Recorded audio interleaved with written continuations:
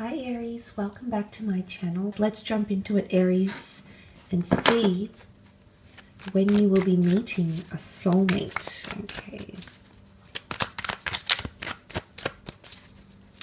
Aries.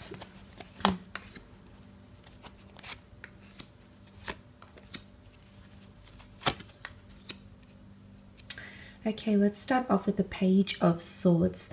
Now, the Page of Swords looks back, looks behind him, okay? And he's not confident to move forward or he hasn't left the past. Um, he reflects back, he looks back because he's still drawn to the past or he's still uh, refusing to let go of a chapter, maybe of a person that's still residing in his past. Now, perhaps for a lot of you Aries watching, there might be someone in your past that you still haven't closed the door on. Now, this could be mentally, this could be emotionally, maybe you haven't forgiven them, uh, maybe you haven't had closure, uh, maybe you still think about them. But I think for a lot of you, um, there's a message here that um, when you move forward with your sword without reflecting on the past, that's when you're going to really invite someone um, like a soulmate into your life. Unfortunately, we, we, we do need to say goodbye to certain chapters um, of our lives, of other people, of ourselves, to usher in a new connection and a new divine connection at that. Um, the Page of Swords is also not as confident, okay? Um, so it's important that you're using the law of attraction to help you draw this person into your experience. Um, you can see the page here, and he, he looks quite, um, I guess, quite hesitant to move forward in a situation. Um, and he, you could even argue that he doesn't really know what he wants. So I think for a lot of you, there might be, I think, a lot of, um, there might be a message here that a lot of thought needs to go into what kind of person you're wanting to attract, how you see your soulmate, okay? Visualization is a very um, powerful tool um, to bring in that manifestation in the physical realm. But I do feel for a lot of you there is some sort of connection or something you need to let go of. Um, could even be healing from the past, could even be trauma relationships, maybe trauma in other areas with other relationships, maybe with parents, maybe with siblings. It's not always romantic, it can be something else that you have to move forward with and with confidence. Um, the Page of Pentacles is here. Now, this could represent earth energy. In fact, you only have earth and air that have come up. So, for some of you, you might be eating, might be meeting, sorry, a earth or air sign um, as a soulmate. Now, the Page of Pentacles, I feel for a lot of you, because he's he has a fixation, and it's the physical realm.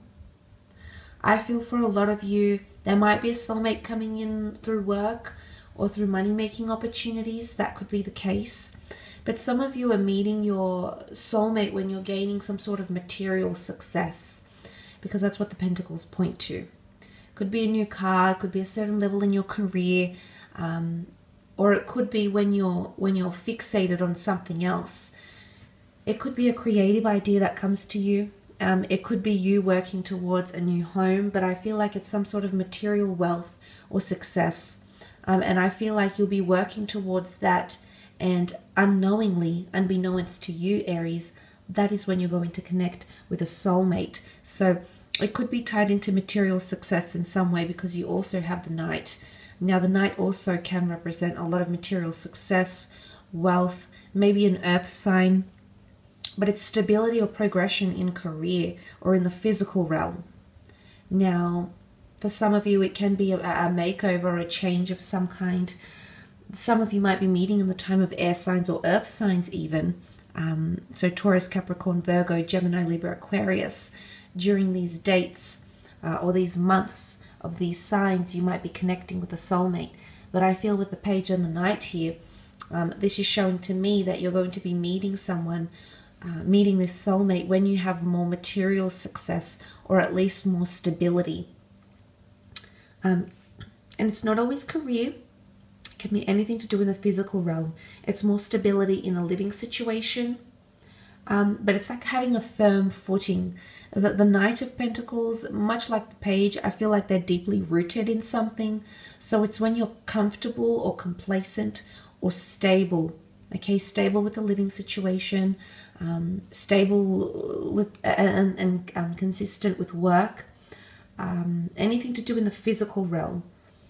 That's when there's a message here that that is when you're connecting with um, your soulmate. Okay. But again, it can point to material success. Um, it's almost like complacency because the Knight of Pentacles is happy where he is. You know, there is no movement around him. He stands still. So it, they could be coming in to your life at a time when you want things to stay still. You'll you'll be very complacent or very happy with the way things are.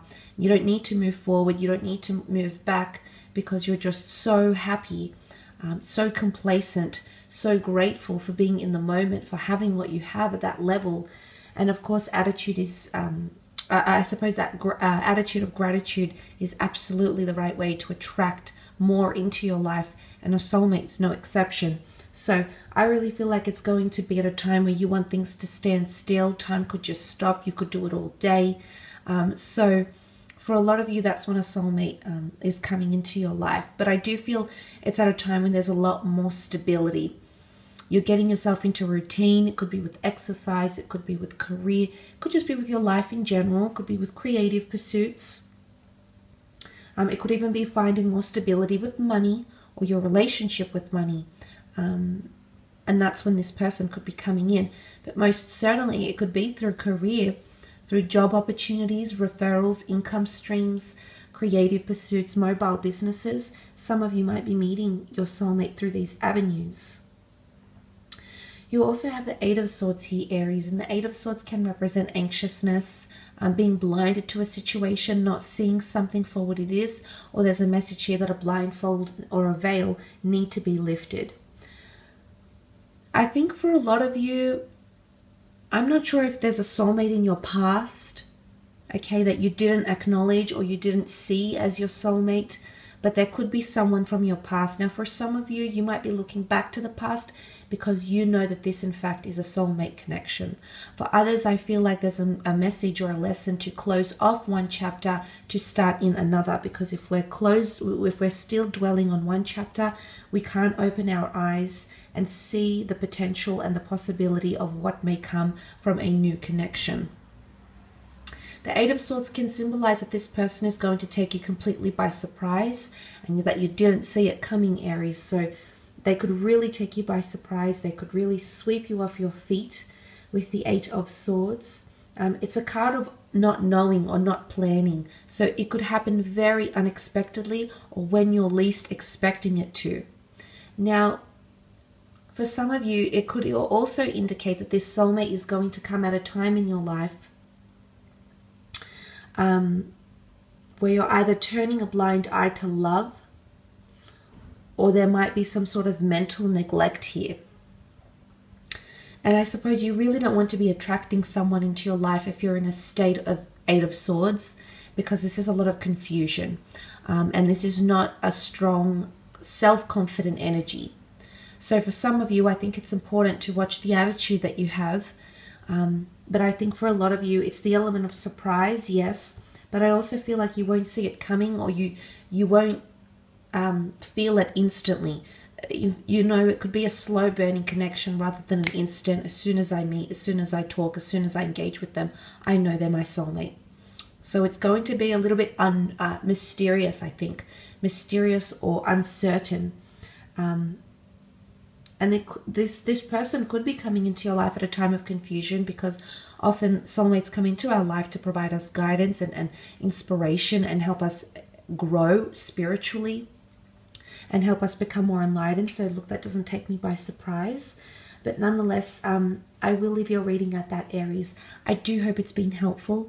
Thank you again for watching. Don't forget to leave behind a like or a subscribe, and we shall be chatting very soon. Thanks again, Aries. Bye.